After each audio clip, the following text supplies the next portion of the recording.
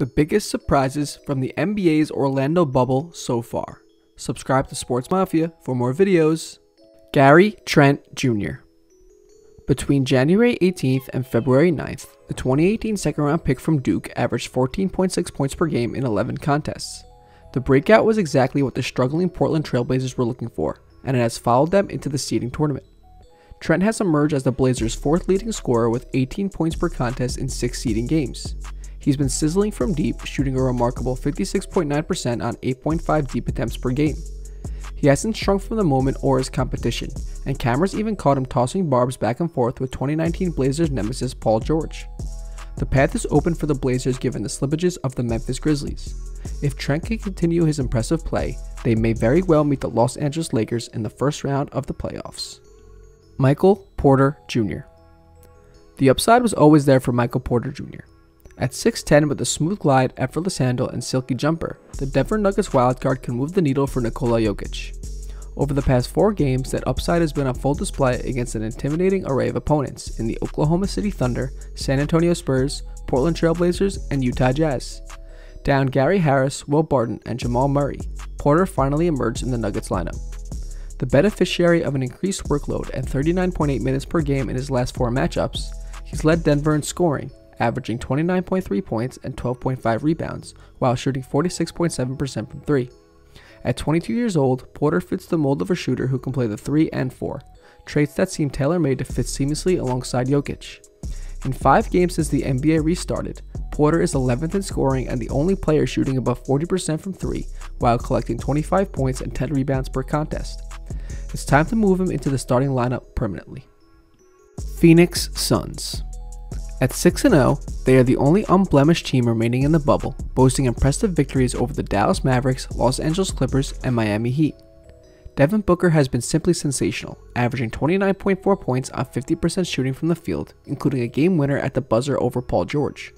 DeAndre Ayton has been another bright spot with 18.2 points, 9.8 rebounds, and 1.2 blocks per game while shooting 56.2% from the field and 42.9% from 3. Most eye catching, though, has been his improved play on the defensive end.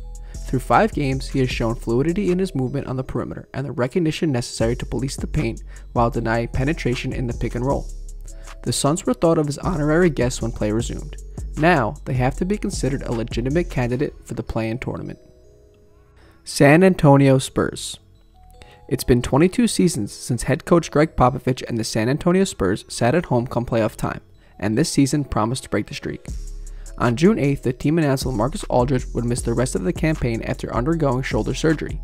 However, the chronically overachieving franchise hasn't gone down quietly, winning 4 of 6 thus far behind the breakout performances of Derrick White and Keldon Johnson.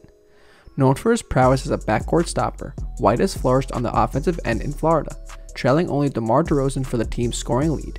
He has also added 4.8 assists and 4.7 rebounds per contest, while shooting 43.8% from 3. Far more surprising has been Johnson, the rookie who's now shooting 63.6% from 3 after being mostly inactive through February.